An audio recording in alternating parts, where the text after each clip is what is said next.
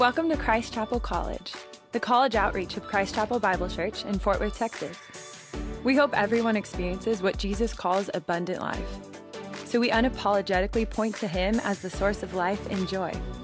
If you're a college student in the Fort Worth area, we'd be stoked to connect with you. Find out more at christchapelcollege.org and on Instagram at Christ Chapel College.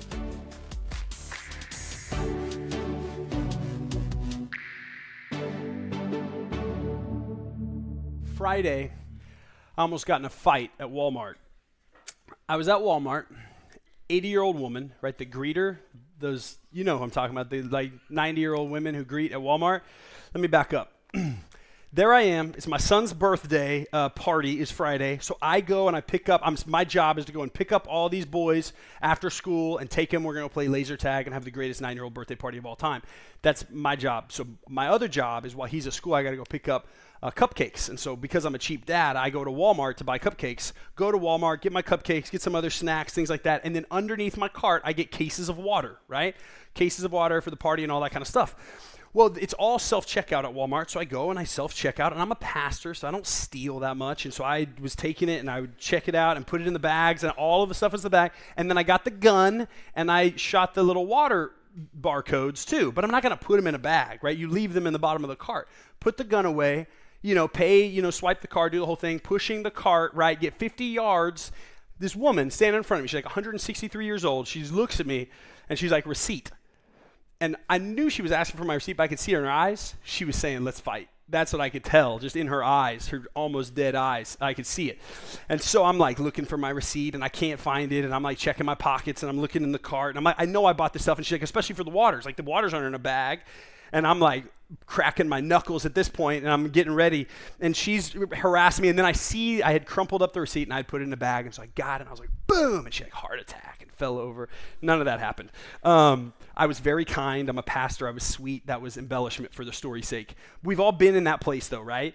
Where we we maybe have purchased something, you bought something, you did something, you know you did it, and then and then you get to the place and like, okay, cool. Do you have proof of that? Like, do you have a receipt? Do you have your ticket? Do you, and it's like, well, I know. I literally, I just bought it. Fifty. I'm putting my card back in my wallet while I'm walking, and there's this up. there's this feeling of like, okay, where is the evidence of that? What we're talking about today is this letter to Galatians, the, the, the Galatian church. And in it is these people who have received the gospel, which is that there was a massive debt that they owed, a huge debt that separated them from a holy and perfect God, right? A debt that they couldn't pay, and yet what they received was the good news that Jesus Christ, God incarnate, came and lived the life that they were supposed to live and died the death that they were supposed to die and then raised again. And for those who put their faith in Christ, their debt is fully paid. And they now have a new king and a new Lord, and that's Jesus. That was what they had received. And so they had received this faith. And yet, the book that we're studying this semester is all about these people who have received. The debt is paid. And yet they drift and they change and, and they wonder wait, where, wait, maybe I maybe I do maybe I didn't. I don't know where the proof of that is. I don't know if my debt got paid. And so it's a people, it's a church that Paul is writing to saying quit trying to continue to pay. I mean, it would be like going through Walmart and you you buy your stuff and then 50 yards later you get to the the receipt checker and she says, "Do you have your receipt?" And you go, I, well, I don't know." And you start handing her more money there's a brokenness, there's a, there's a confusion where, wait, you have paid. And so that's what's happening. And so I, I get really excited about this passage. We're going to be in chapter 3, verses 1 through 14. So we're just studying 14 verses today. And in it, I really believe it helps us answer the question of how do we know? Right? Like, how do you know you did it right? Right? If, if, if this massively important thing called our salvation, our reuniting with an eternal and holy God, is through faith in Jesus, what if you did it wrong? What if you didn't pray the right thing, or what if it didn't really go through? Where is the receipt for that that we can say, here it is? And, and, and this sermon isn't all about, there's a whole topic called assurance of our salvation, which is something that, that as Christians we can have confidence in that. But this isn't all about that. It's not all of the ways we can be sure, but today you're going to see a big one you're going to see a, a, a, huge aspect of what God has done to say, here is how you can be confident. Here is a receipt for this faith that we uh, are called to have. Ready for this? Galatians chapter 3, verse 1. It's going to be 14 verses, like I said, and I'm going to break it into three different sections. Uh, and I'm going to give kind of some headings. Just for me, I, I have to kind of wrap my head around what the argument is that Paul's making in each of these sections. So maybe it's helpful to you. It's definitely how I read Scripture. I have to kind of figure out, okay, what's he talking about in this section? So the first section is going to be the first six verses. And section one, it's, it's really where Paul is calling them out for leaving their original faith. So he's going to come in hot in these verses. And so here he is calling them out uh, in their faith. Verse 1, chapter 3. O foolish Galatians, he starts. Who has bewitched you? It was before your eyes that Jesus Christ was publicly portrayed as crucified. Let me ask you only this Did you receive the Spirit by works of the law or by hearing with faith? Are you so foolish? Having begun by the Spirit, are you now being perfected by the flesh? Did you suffer so many things in vain, if indeed it was in vain? Does he who supplies the Spirit to you and works miracles among you do so by works of the law or by hearing with faith? Just as Abraham believed God and it was counted to him as righteousness. Let me, let me, unpack, let me unpack this a little bit. Um, and really, what we're going to see here is this question why are you walking away from the faith? That's what Paul is saying. He's telling this church, this group of people who he shared Christ with in the first place. Their original faith was because Paul showed up, the Holy Spirit spoke through him, shared this good news of Christ, and yet then he's checking back in, they've walked away, and he's saying, Why have you walked away? Right? You're leaving your original faith. And for clarity, let me um, explain what I mean by that. When, when I say um, they're leaving their original faith, their original faith was this it was in Christ alone that we are saved. That's the message of, of ultimately Christianity, right? That's the message of the gospel that it is Christ alone who saves you, not your religious deeds, not your church attendance, not, um, not anything else that we try to find to make us right with God. It's only through Christ alone. Um, and they didn't ditch Jesus. The Galatians were still all about Jesus. They loved Jesus, they're big fans of Jesus. What they were doing was they were adding to it. And so it was no longer Christ alone. It was, yes, Jesus is what saves me. But I've also got to do this, and I've also got to do this, and I probably should also do this, and I need to do this to also be made right with God. And so uh, they really were wandering from that original call um, and what they were doing is what they were adding is they were adding the law, which is something we've talked a lot about in here. And the law was really the standard. It was the standard, it was the rules, um, in, in, essence, of this is what it looks like to be uh, righteous. And really, the law was this gift that God gave us to show us how impossible it was.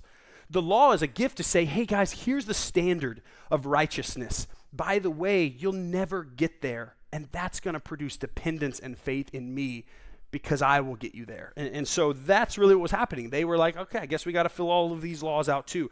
Um, the law's not bad, it's just inadequate. And faith in Christ alone is, is where what we need for righteousness. But they left it. And he even says in verse 1, you guys witnessed it, right? They were leaving their original faith and they, they witnessed it. He even says, you've, you've received evidence of the Holy Spirit in your life which the Spirit of God is talked about three times in this verse. And so it's a topic that we're going to, when we get to application, we're going to come back into this specific section and we're going to spend some time on just that. So put a pin in that. But he's he's using the Spirit even as a as this evidence of what are you, what are you doing? Like the Spirit of God was doing stuff. You had it. Why'd you leave it? You saw the effects of your belief. And then he goes into the second section and he really talks about how their original faith was the original plan. Right? It was always God's plan in these next three verses. Verse 7 Know then that it is those of faith who are the sons of Abraham.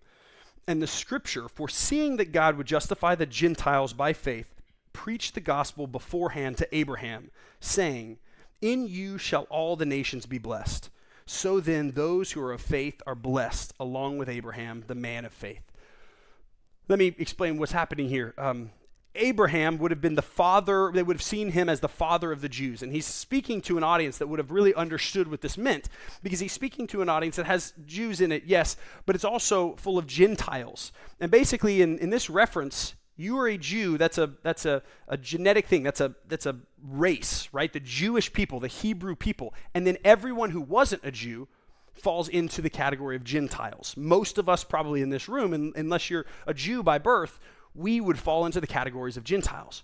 Well, God had been telling his story through the Jewish people throughout history, right? Through the people of Abraham, God had said, I'm going to reveal myself through the Jewish people. And, and even this promise to Abraham, way, way, way, way back before Jesus, way back before we're sitting in a coffee shop today, Abraham was this guy that God gave this promise to In you, all the nations shall be blessed which is crazy encouraging that that promise was spoken to a man thousands of years ago prophetically, God saying, I'm going to bless all the nations who lived in a nation way on the other side of the ocean. And that is now what we sit in in a coffee shop on Sunday morning, worshiping Jesus, who came through the line of Abraham, through the promise of the Jewish people, because this was always God's plan to save everybody. This wasn't a curveball, Paul is saying. This was always the original plan. God was going to reach everybody. So, way over here in this nation, way far away from Israel, right? We were a part of God's plan to say, I want to reach everyone and throughout throughout history. And so he's saying that's what's happening. God wasn't surprised. God wasn't like, oh man, I guess I gotta I guess I gotta open up the gospel to other people.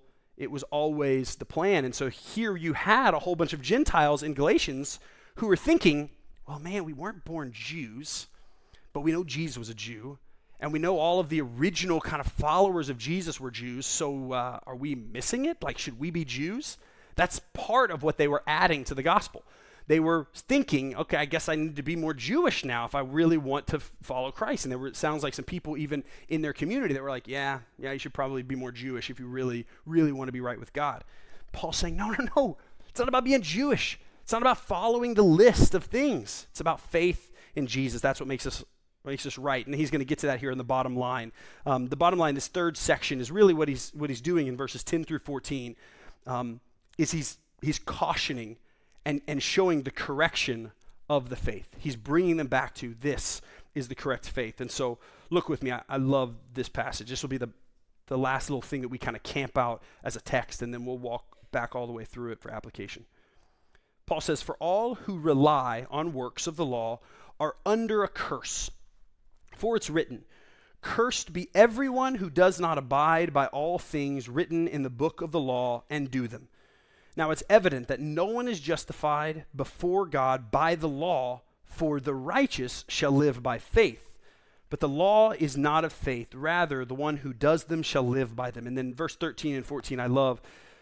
He says, Christ redeemed us from the curse of the law by becoming a curse for us.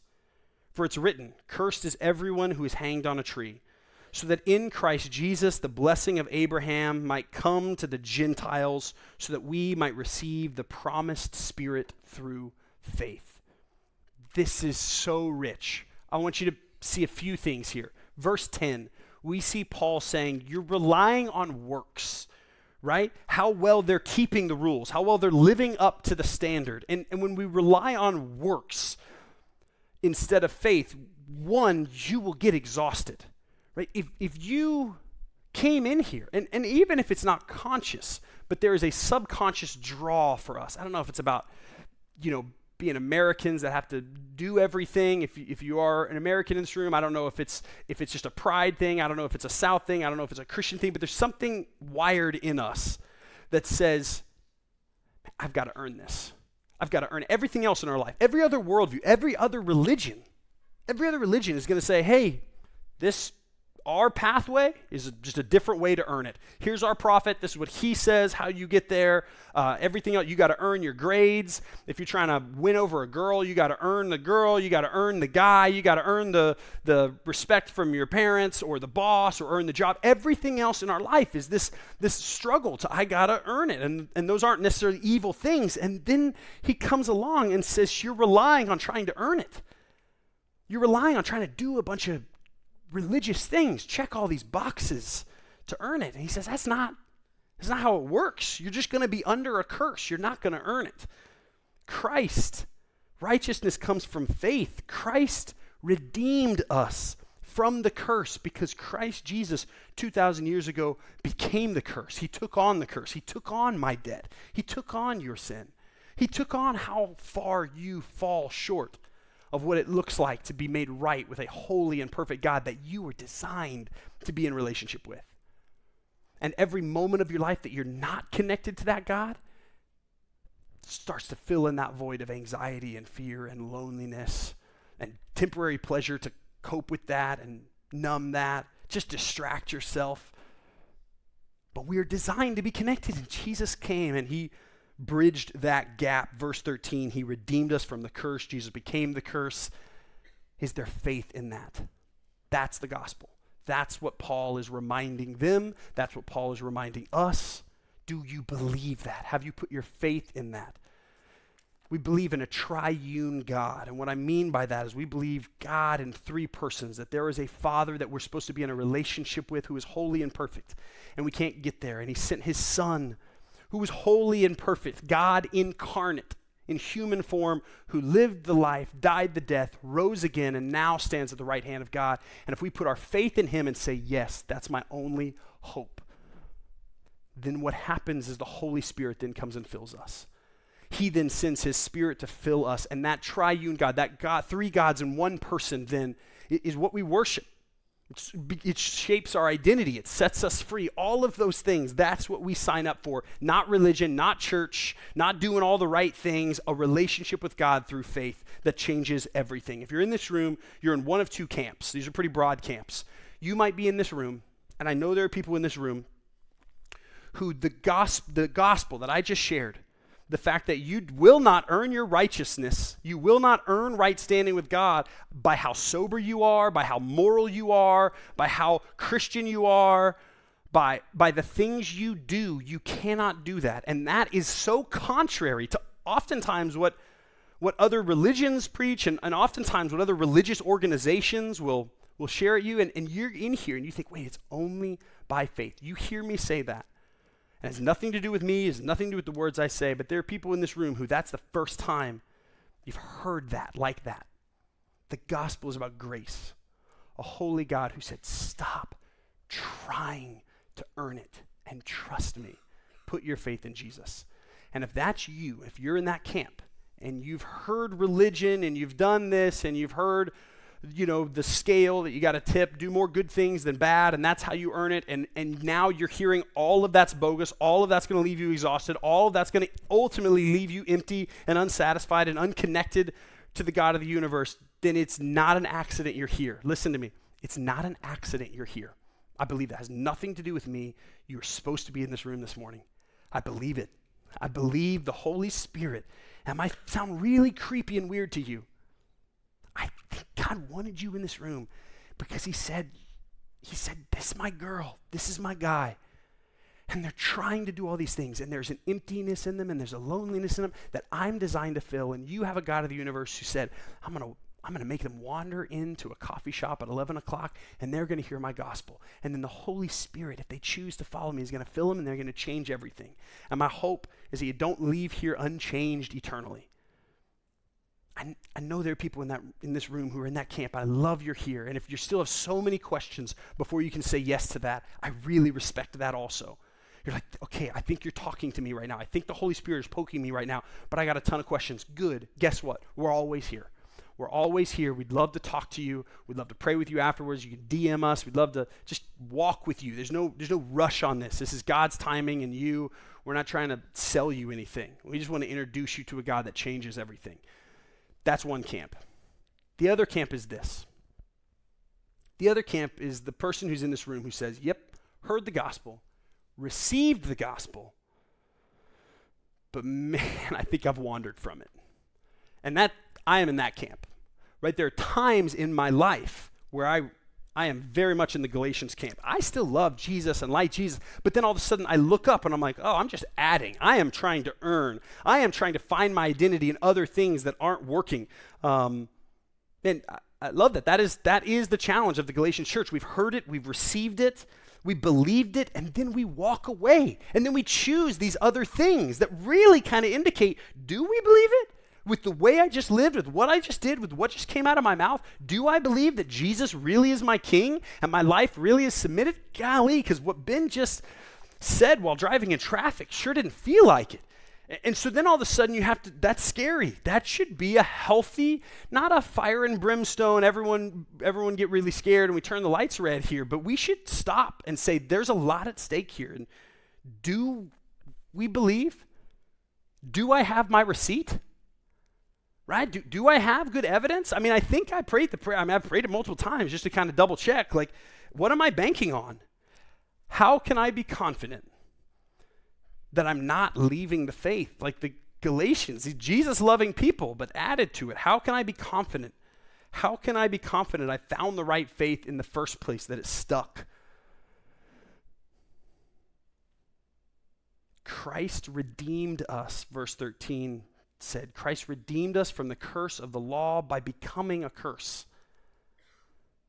for us. Our faith in Jesus is our hope for redemption. Right? Your hope for redemption is your faith in Jesus and Jesus alone. That's the only hope we've got. But then look at verse 14. That's verse 13, really explicitly. But verse 14, I'm going to read it over you and then I'm going to summarize it on that screen. So that in Christ Jesus, the blessing of Abraham might come to the Gentiles, so that we might receive the promised Spirit through faith. The Spirit of God is an evidence of that faith, guys. Verse 14 shows us there's a receipt, and that receipt is named the Holy Spirit. Man, if, the Father has sent his Son and I've put my faith in that Son, then, then what happens is I then receive the Holy Spirit, and that changes everything. That means if you're in Christ, you have the Spirit of God living in you. That is huge.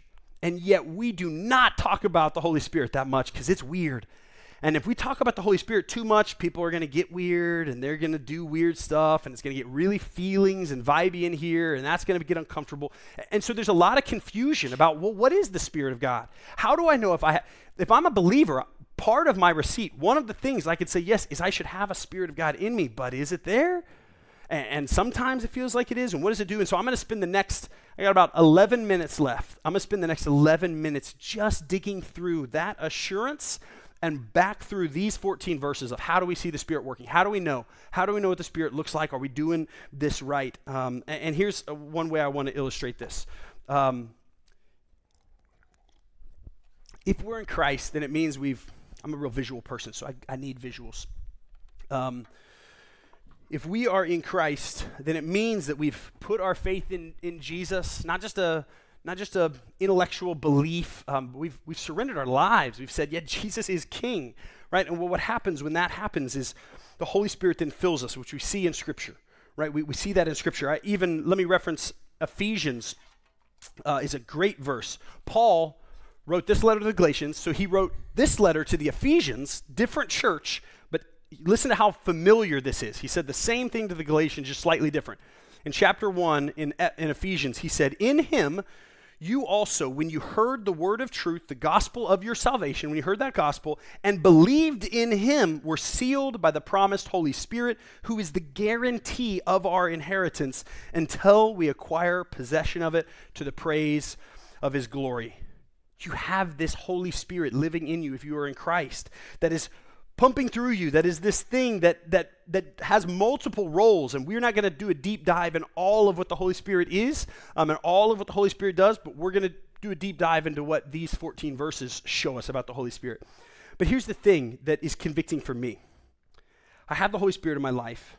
I believe that and i've, I've experienced that but here's what happens um, this dims right this dims in, in my life. And so all of a sudden I look up and I'm like, yeah, I got the Holy Spirit, but he's just he's not like not like it was during the summer.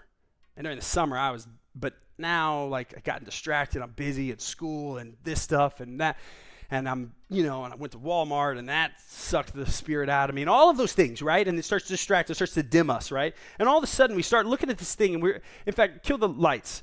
We start looking at this thing and, and right now this bulb, I'm telling you, I have a dimmer in my hand, is on and you could barely see it, right? Like right there, like you in the back, you can't see it, right? But th- there is electricity pumping through this light. Maybe the people in the front row can see it, I can see it, but man, you got to really squint when it's designed to be this.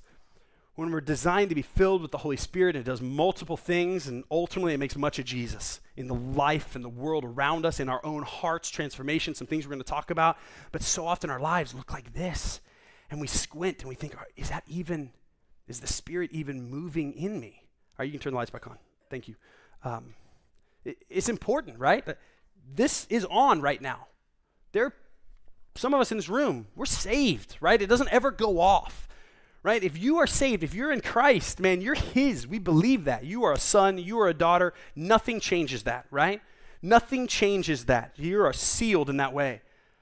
But you're missing out on a life filled with the Spirit. And so you can live your life, and technically, yes, it is current going through this, but it's not really making an impact, not making an impact internally or externally. And so that's that's where we're going. And I want you to remember that visual to say, God, where am I at? And not just as a one-time summer camp thing, but in our, my life, God, how do I cultivate that more and more? How do I how do I increase the dimmer more and more on those things? Um, here's what I want us to do. I want us to work backwards, right? We're going to see three other references. We see a reference in verse 14 of the Holy Spirit, and then I want us to work back into that first section, backwards through that, and you're going to see three things the Holy Spirit is doing. And I want to challenge you and challenge my own uh, forgetful heart to step into those. First, I'm going to take us to verse 5. If you remember chapter 3, verse 5, we'll put it up on the screen. Remember, Paul's coming in hot, and he says, Does he who supplies the Spirit to you and works miracles among you do so by works of the law or by hearing with faith? And so, what he's saying is, he's saying, Hey, are you serious? You're walking away from the faith. Remember the effects of the Spirit of God. Remember the Spirit of God that, I, that was sent to you by the Father uh, and all of the miracles and the things that he was doing around you by faith. Don't you remember that? How have you wandered from that? And really, the question that I have to ask myself, I have to ask you, are you aware of the Spirit of God working around your life? Right now, in, in your life, are you aware? Are you seeing the Spirit of God? The Galatians had lost sight of that. These people had lost sight of the Spirit of God working, and they apparently, God was doing amazing stuff. The Spirit of God was doing amazing stuff, and, and they'd lost sight of it. They'd kind of wandered from that. For us, who are believers, desire to be believers, are you aware of the Spirit of God working around your life? And, and here's what I mean by that, um, because I think there's a lot of misconceptions. And so, what I want to do for each of these is I want to I want to kind of say, here's what the Spirit does, and then here's what the Spirit doesn't do. And so, if you're in this camp, or if or if you've got somebody kind of giving you bad advice, this isn't what the Spirit is. The Spirit of God makes Jesus famous, right? Not the Spirit of God makes makes me famous, makes us famous, everything else. The spirit of man does that. The spirit of God, though, when it's working around you, is going to make Jesus famous. And let me give you some examples tangibly of like, what, what do I do with that? What does that mean? I think community is a big one. Unity. Unity within a community of people that make no sense, right? Like, if you've got a community of people who are filled with the Holy Spirit, there should be if, if they're active and, and listening and submitted to that spirit, there should be a unity around people that you look at and you're like, how are those guys such good friends? How are those people connected in such a tight community? Right? Like, how do people that don't really have any business liking each other love each other and serve each other that well in a way that an outsider walks in and they don't just think, ah, oh, those are some friendly people? Right? The church, the body of Christ, should be people that aren't just like, yeah, they're very welcoming, they're very friendly. It should be like, who are these people? There's something different about them. There's something unifying about them, right? That's a way that, but what they do is they don't think they're nice people. They think this, they're onto something. It should point to Jesus. If it just makes much of us, well, then that's not the Spirit of God. If you, honestly, if you leave here and you think, that was a great sermon, that Ben guy, well, then that's not the Spirit of God. The Spirit of God is never going to say, wow, Ben is great. Wow, that song, man, that lyric, that right that person was great. The spirit of god what he's going to do around you is make jesus great. And so what are those things right? I, I, know people who serve and they're reaching the marginalized and people who are hurting and they're sacrificing like crazy to do that. That's the spirit of god making jesus famous. These incredible things around us that we should be a part of. Here's what i want to challenge you with. I, genuinely i want to challenge you this week if you want to, to continue, just like I do, just like I need as a pastor, man, I need this to continue to increase that, that dimmer in our life, I want to challenge you. Look for and cultivate the ways the Spirit of God is amplifying Christ and his kingdom. I know that was a mouthful. Look for around you, look around you and say, where is the Spirit of God moving in a way that is amplifying, that is making loud Jesus? Where, what is he doing? Maybe you Maybe you see a service opportunity. Maybe you see people who are hurting. Maybe you see people who are lonely, and the Spirit of God is like, man, I want you to be a part of that. Or maybe you see other people serving, And you're like, that guy is different.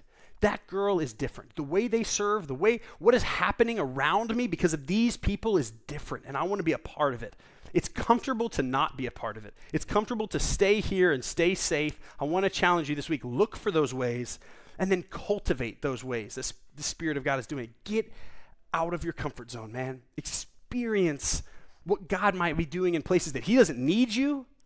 He doesn't need us to serve people and love people and, and bring about His revival. He, he doesn't need us, but He chooses to use us. And how crazy are we when we turn Him down? When we're like, yeah, I'm good. I'm just going to I'm just going to stay where it's comfortable. I challenge you go, go. Verse 3 also, are you so foolish? Again, Paul is strong in his language. He says, Are you so foolish? Having begun by the Spirit, are you now being perfected by the flesh? You, you began, it's a rhetorical question. He's saying, okay, the Spirit of God is what saved you in the first place. And now is it something else that's going to like keep you going, sustain you, mature you, right? That fancy word is sanctify. You've been saved, but now you're going to be matured and sanctified. He's like, no, of course not. It's the Spirit of God that should be working in us. The same Spirit that was there when the first current hit us is still there. And that's what we have to submit to to say, God, when I make much of Jesus, would he be Lord of my life? And so the question is for you and for me, is the Spirit of God working within your life? Not just is he working externally and, and jumping into opportunities where, where he's doing stuff, but is he working internally in your life? In your heart, is God bringing about forgiveness that doesn't make sense, healing, peace. I'm not going to hijack from our Galatians. We're going to speak in Galatians 5 about a lot of the fruits of what happens with the Spirit. But I, I want to at least give you this kind of juxtaposition. What the Spirit of God will do, He's all about transforming hearts, right? The Spirit of God is all about transforming your heart. But, but what is not the Spirit of God is all about feelings. And we get this one mixed up a lot, right? Like we, we, a lot of times, in fact, I would imagine when I first started talking about the Spirit of God, about half of you guys that would have been like, right? Like, okay, Spirit of God is feelings. Like the first thing I think of when I think of like the Holy Spirit, that person of the Trinity, is feelings and the vibe and energy and like, oh man, that's like when I'm really happy. And and, and that's not who the Spirit of God is, right? The, the Spirit of God is a is a God who who, who shows up in our life even when things are dim and dark. Um, there's a story I like to tell all the time. I used to travel and work at conferences and youth camps and things like that. And there was this worship band that we worked with um, a good amount, and they were awesome and just great. And you know, there's a bunch of high school kids, like a thousand high school kids worshiping, and they're just jamming out, leading all these worship songs. And I remember standing with the worship leader uh, one evening after a service, and we were chatting, and a high school kid walked up, and I, I think I've told this story before, so I apologize if you've heard it, um, but it's a good story. This kid goes, "Bro." Thanks so much, man. I felt the Holy Spirit. In that last song you played, I felt the Holy Spirit fall like I just felt him felt him fall on me. And the guy was like, I don't really know that that's like our theology. Like we, we don't like the Holy Spirit is not a feeling or like a smoke or a mist or a magic powder that needs to fall in the room. The Holy Spirit is this thing that lives inside of us. And he's not going into all that. That's just my context. And, and he's like, I don't, I don't think that. He's like, you know, no, was in that last song, man. I, I felt the Holy Spirit move. And he goes, well, what part of the song? He's like, oh, the bridge, man. We went to the bridge. And he was like, and the guy, the worship leader with this high school kid was like, no, no, no, no, that's the bass drum. And the kid's like, no, no, no, man, I felt it. And he's like, was it when it was, yeah, okay, yeah, that's the bass drum. You're confusing the bass drum with the Holy Spirit. And we do that all the time. We, we confuse the synthesizer, right, with the Holy Spirit. Like, oh, that's when I felt it, man, right when you hit that note. Oh, because it becomes a feeling. It's not. Hey, listen, listen to me. there is something in the Christian life called the dark night of the soul Right? If you play this thing out and you follow Jesus with, their life, with your life, there are going to be moments in your life where you do not feel all happy. And that has nothing to do with the Holy Spirit not being bright in your life. The most godly people in Scripture, men and women in the Bible, experience some of the hardest, lowest, discouraging times where it wasn't all about feelings and look how happy I am. And if we qu- equate the Holy Spirit to happiness, we will be chasing something. And when we catch it, it will, we will realize it was, it was fool's gold. Right? The, they were close to the Lord. They were closer than they'd ever been. And it wasn't happiness, everything's all right, but it was the presence of the Spirit of God. It was peace in the midst of low, hard, dark times. Man, I want you to be prepared for maturity in your faith, not be a bunch of people that say, man, we need the Spirit of God, so let's crank the music loud and let's get feeling. If we start feeling sad, no, no, let's just stuff that down. Man, the Spirit of God is not feelings, it's about transforming your heart. The things I used to be addicted to, praise God, He's taken, He's restored. The way I used to see people, He's, he's changed and slowly transforming. Right, changing my heart, giving me peace where there shouldn't have been peace and joy and, and, and, and all of this kindness when I don't want to respond in kindness when what I want to respond is, is anger, and yet the Spirit of God transforms my heart. And it's not about feelings, it's about a transformed heart. That's what He does. Is there evidence of that in your life? Is that happening in your life? And I, I challenge for you this week submit your heart to the Lord every day. Every day. Submit your heart to the Lord. And when I say that, I'm, I mean, I, I mean it to be nebulous. I, I mean, be in His Word right? The Holy Spirit speaks through this, right? He, the Holy Spirit uses this, to, this comes alive. Um, a buddy of mine, actually, Zach, who's on our staff, we were meeting and we were actually chatting about this passage, and he was talking about, man, just the difference between trying to read Scripture when you're not in Christ as a textbook. And so, if you're in this room and you're still asking questions, there are going to be things about this book that are just a book. And if you put your faith in Christ, there's going to be things about this book that transform, that open your eyes to it because the Spirit of God brings this thing alive. This book, be in community. That's another way you submit your heart to the Lord. Other people who have the same Spirit of God, and you're checking things, and you're, man, what is this? And I have this conviction. What do you see here? And man, that, that, submit yourself. There's a whole beautiful list of God's graces that show up as disciplines that we could submit prayer and all kinds of things that we do. And I want to challenge you. If you want, if you want to walk through more of those, man, please reach out to us. We'd love to walk through more, just some deep disciplines of what it looks like to put yourself under the Lord. But here's the last thing. The last evidence of, of the Holy Spirit we at least see in this passage is verse 2. Right off the bat in chapter 3, he said this. If you remember, he said, Let me ask you only this. Did you receive the Spirit by works or by works? Did you receive by works of the law or by hearing with faith. Which leads us to the question Paul saying, Did you receive it? The question for us is, Have we received it? H- have we received the Spirit of God in the first place, right? Paul says, Did you receive it by works, by doing good things, or by faith? They received it by faith. They know that. They're reminded of that in this book. They would have read that and been like, oh my gosh, he's right. Spirit would have convicted them as they read this letter from Paul. My hope is that for some of us, this is convicting. That we don't come into another worship service and feel good and then leave and say, but wait, I don't know if I've ever really put my faith in Christ. I've tried the Christian thing, I'm dabbling in it, I'm moral, I grew up doing it, my parents do it, my great whatever whatever your story looks like, is it personal? Have you received the Holy Spirit by putting your faith in Christ and Christ alone? And then all of those things, he renewing your heart? Is he working around you? All of those things. And, and the, the juxtaposition, the little chart I'd give you here is the Spirit of God is received through faith, but the Spirit of man, everything else is received by just being good enough. And that doesn't work here. You're not going to be good enough to get the Spirit of God. But here's what it does the Spirit of God points to Jesus, Spirit of God points to holiness in my life. Spirit of God should start to change our life to look more and more like Him. There should be holiness in my life, not to earn the Spirit because I'm saying, Spirit, you drive because I stink at this. He drives me more and more towards Christ likeness, hitting basically every pothole on the way there, at least in my experience, because I'm stubborn. That's what happens. And so my challenge is my challenge is Jesus' challenge. This is Jesus' challenge to his followers. He says, repent and believe. You want to receive the Holy Spirit? Repent and believe. Repent meaning, man, you're living one way, you're living for yourself, you're, you're going in this direction. Repent, turn. Turn from that. Believe that I am the way, I am the truth, I am the life. No one comes to the Father, Jesus says, except through me. Repent and believe. Here's how we're going to end our time. We're going to go back up into worship here in just a second, and um, we're going to sing two songs, and they're really thought, thoughtfully um, strategic.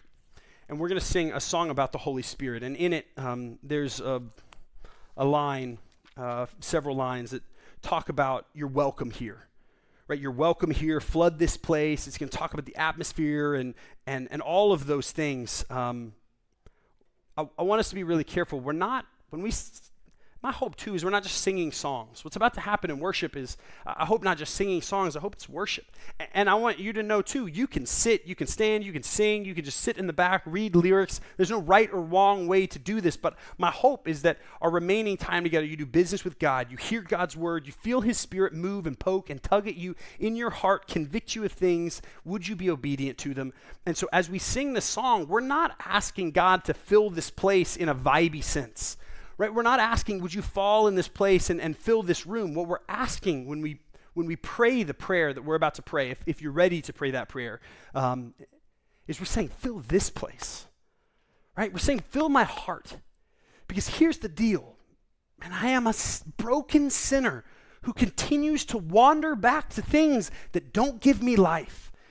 And I know you are too. And I wander back to loneliness and anxiety and discouragement and sin and worship of myself and comfort for myself over all things and all of these other things that don't look like Jesus.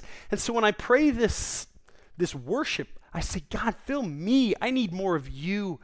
Change my heart, fill my heart. I want that to be the posture of what we're doing. And then we're going to go right into another song because what happens when the Spirit is in us is He gives us the power to profess what we believe. What we believe, the theology of what we believe, that we believe in the Father, the Son, and the Holy Spirit, that they are our hope. We believe in a resurrection. And so we're going to end our time, if it's true for you to be able to stand and with your voice or even silently in your seat, that your heart would say, I believe you. That's our hope would God do what only God could do? Let me pray. Father, we're grateful for you. We love you.